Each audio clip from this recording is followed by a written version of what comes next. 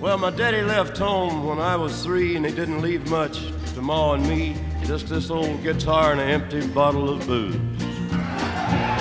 Now, I don't blame him because he run and hid, but the meanest thing that he ever did was before he left, he went and named me Sue.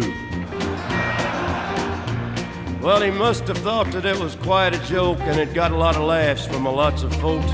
Seems I had to fight my whole life through.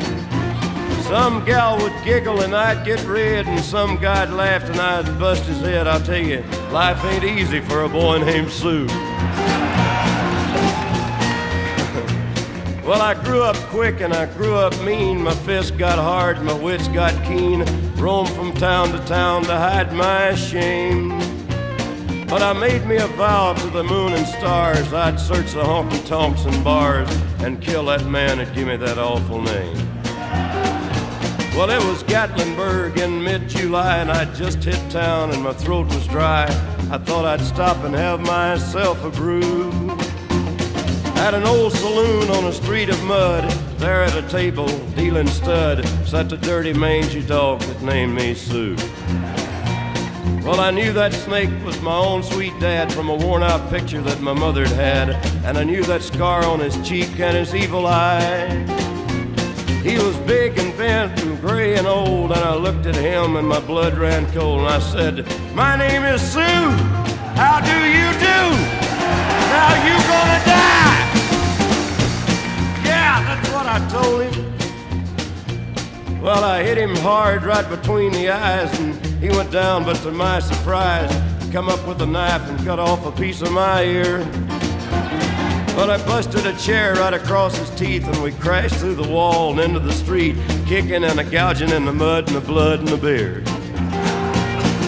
I tell you, I fought tougher men, but I really can't remember when.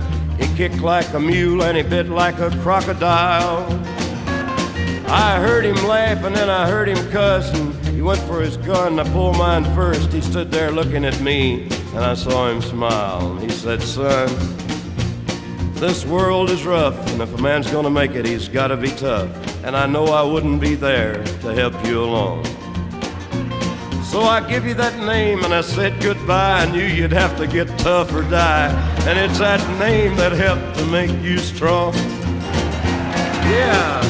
He said, Now you just fought one hell of a fight. And I know you hate me and you got the right to kill me now. And I wouldn't blame you if you do.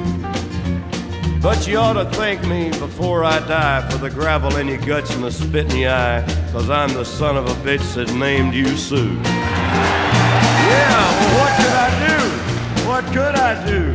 I got all choked up and I threw down my gun, called him a paw and he called me a son, and I come away with a different point of view. And I think about him now and then, every time I try and every time I win. And if I ever have a son, I think I'm gonna name him Bill or George, any damn thing but Sue. I still ain't been